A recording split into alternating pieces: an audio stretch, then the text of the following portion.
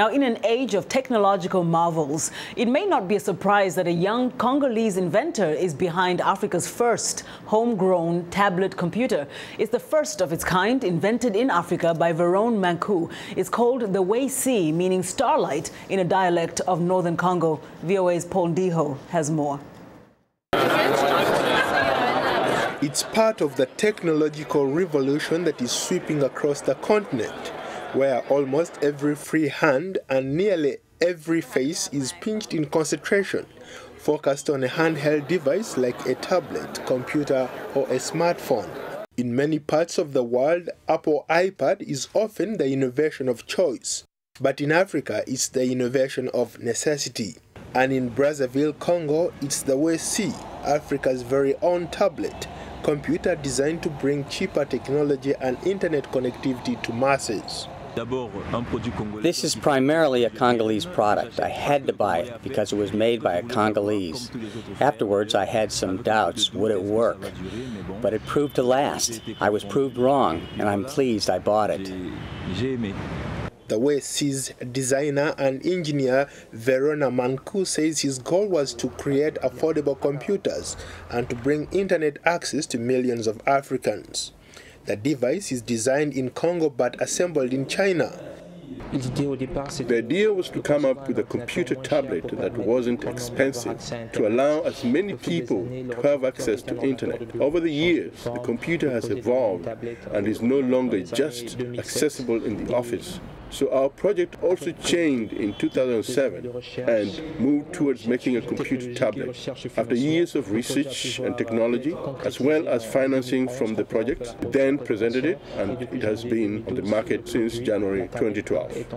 The WayC was created by Mankou's company VMK and went on sale for the first time this year in Congo at $300. VMK forecasts its domestic sales to reach over 100,000 tablets within one year before it launches the product to neighboring countries in West Africa.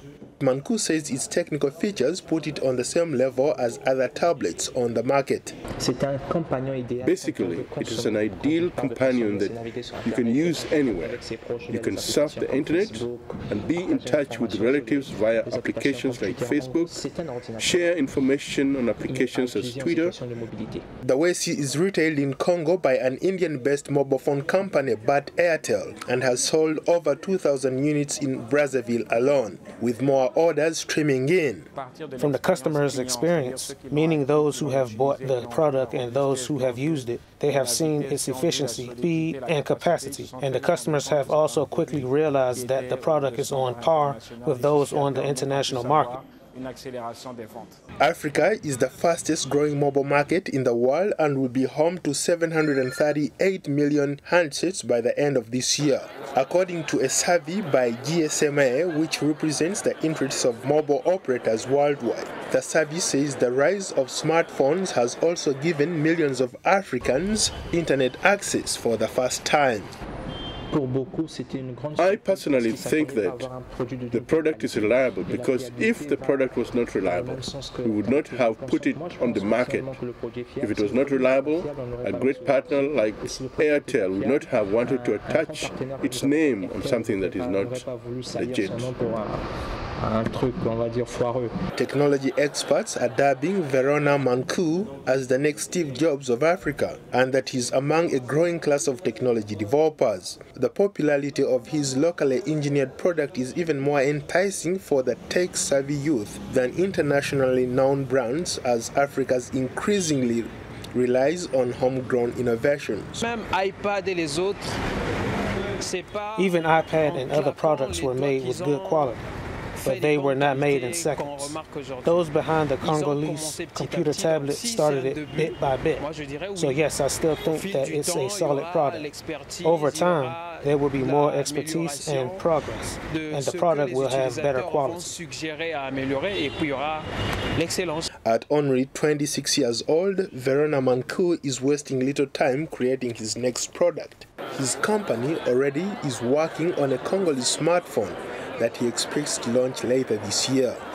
Electronic giants like Samsung are already aggressively courting African consumers with built for Africa smartphones.